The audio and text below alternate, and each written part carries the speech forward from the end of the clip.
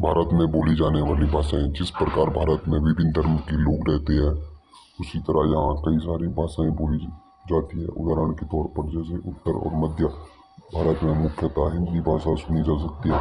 वहीं दक्षिण भारत की मुख्य लैंग्वेज कन्नड़, तेलुगु और तमिल है। पश्चिम में गुजराती, राजस्थानी, पंजाबी और हरियाणवी भाषाओं को सुना जा सकता है। पूर्वी भारत की बात करें तो यहाँ उनकी अपनी अलग भाषा है। कुल मिलाकर भारत अनेक भाषा का देश है। पूरे भारत में कितनी भाषाएँ बोली जाती है, इसका सही तरीके से अनुमान लगाना तो मुश्किल है, क्योंकि हिंदुस्तान में बहुत सी भाषा बोली और समझी जाती है। हालाँकि भारतीय संविधान में सिर्फ़ 22 भाषा को मान्यता प्राप्त है, लेकिन दो हज़ार ग्यारह के आंकड़ों के अनुसार ऐसे लोग जो दस हज़ार से ज़्यादा एक भाषा को बोलते हैं, ऐसी एक सौ इक्कीस भाषाएँ भारत में बोली और समझी जाती है।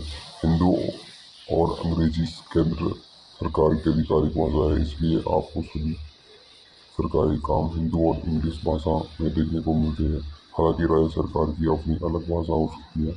जैसे आप दक्षिण भारत में जाते हैं तो वहाँ आपको कन्नड़ मलयालम, तेलुगु या फिर तमिल देखने को मिलेगी। भारत में बाईस भाषा को संवैधानिक रूप से आधिकारिक भाषा का दर्जा दिया गया है। जिनके नाम निम्नलिखित हैं हिंदी, बंगाली, असमिया, बोडो, डोंगरी, गुजराती, तमिल, तेलुगु, उर्दू, सिंधी, संथाली संस्कृति, पंजाबी, ओडिया, नेपाली, मराठी, मणिपुरी, मलयालम, मैथिली, कश्मीरी, कनाडा, कोंकणी।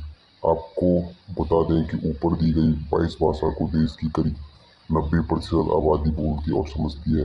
हालाँकि इनका एरिया अलग अलग है। इन भाषाओं को भारतीय संविधान की आठवीं अनुसूची के तहत सूचीबद्ध कर राजभाषा की संज्ञा दी गई है। तो अब आप भारत में कुल कितनी भाषाएँ बोली जाती है, इसके बारे में जान गए होंगे। बहुत से लोगों को लगता है कि देश में हिंदी सबसे ज़्यादा बोली जाती है तो भारत की नेशनल लैंग्वेज हिंदी होगी, लेकिन ऐसा नहीं है। इंडिया की फ़िलहाल कोई राष्ट्रीय भाषा नहीं है। हिंदी को राष्ट्रीय भाषा बनाने की पहल की जा चुकी है, लेकिन इसके विरोध के कारण इसे राष्ट्रीय भाषा का दर्जा हासिल नहीं हुआ है। हालाँकि हिंदी और अंग्रेज़ी को भारत सरकार की तरफ़ से ऑफिशियल लैंग्वेज का दर्जा मिला है।